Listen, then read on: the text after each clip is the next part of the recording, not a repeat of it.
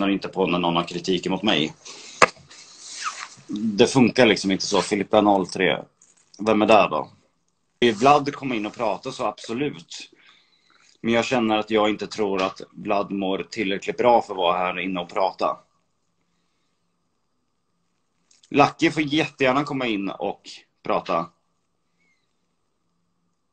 Och eh, 03 Filippa också självklart. Ser er i chatten så eh, bjuder jag in er.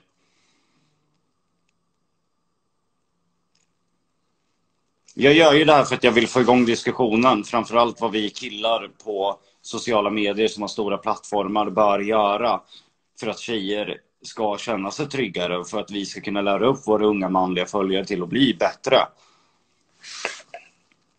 Jag vill försöka göra någonting bra. Sen kanske jag alltid gör det på rätt sätt. Men jag vill verkligen försöka göra någonting bra.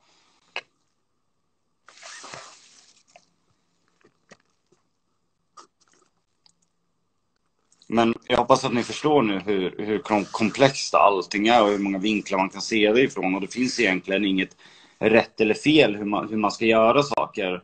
Och därför är det väldigt viktigt att ha en dialog och prata kring det.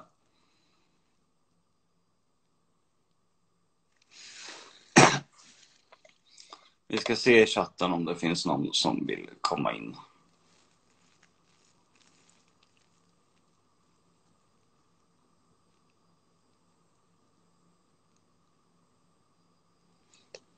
Och det är just därför jag tar mitt föräldraskap med Luna Bell så, på så extremt stort allvar. Självklart Lionel också, men Lionel är fortfarande så pass liten att han är inte i den här perioden då han formas.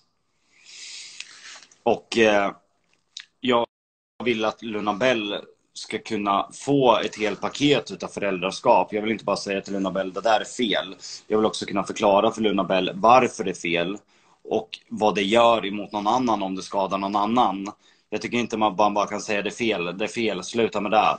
Man måste förklara också. Och när Luna Bell växer upp så måste jag förklara för henne att vi inte alltid har bott i ett stort hus. Var jag kommer ifrån. Att hon förstår att alla människor inte har lika mycket pengar, att vissa lider av utanförskap. Det är så viktigt att barnen får en större förståelse så att de inte kommer till skolan och mobbar någon för att den har en trasig tröja att barnen förstår och istället hjälper den personen och frågar en extra gång hur mår du, är det bra? Därför är det så super, super viktigt att börja med barnen.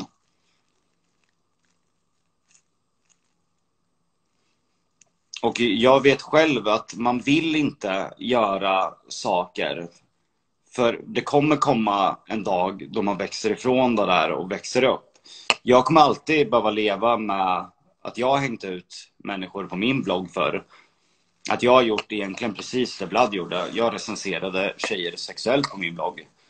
2011, tror jag det var. Jag kommer alltid behöva må dåligt utav det. Och med all rätt.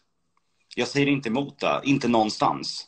Det kommer följa med mig genom hela livet. Jag kommer fortfarande vakna på natten och må dåligt och tänka på det där. Och det är såklart det gör ont när jag inte är den personen längre och jag verkligen känner hur fel det är och vet att jag har varit den där personen. Och att inte kunna gå tillbaka och förändra det som hände. Det kommer alltid ha hänt. Jag kommer alltid ha gjort de här sakerna. Och just när jag gjorde de där sakerna, då kände jag ju ingenting. För det var ingen som sa till mig att det var fel. Alla bara skrattade åt det det var inte direkt att jag stod med i Aftonbladet att jag recenserade tjejer som det hade hänt idag när Vlad gjorde den här videon, att det direkt hamnade i Aftonbladet. Utan det var ju som sagt var 2010 kunde man fortfarande 2010 kunde man fortfarande säga n-ordet. Vi har utvecklats enormt. Och jag önskar såklart att någon hade sagt till inte heller ifrån mig. Jag har, I grund och botten är det mitt eget ansvar. Men jag kommer alltid få leva med allt jag gjorde. Och det jag vill komma fram till att det är inte roligt att behöva leva med att du har sårat andra människor. Det är inte roligt. Jag kommer alltid behöva bära med mig det hela livet. Men samtidigt så är jag glad att det gör det. Jag vill inte att det ska försvinna. Jag vill känna den här känslan även om det är jobbigt. För det påminner mig om vart jag har varit. Och vad jag har gjort och vad det har fått andra människor att känna. Och därför vill jag kunna känna den känslan, även om det inte är roligt. Förstår ni vad jag menar? 03 Filippa, men...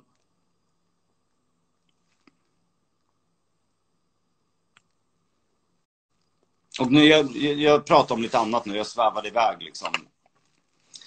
Så absolut, det handlar inte just om det.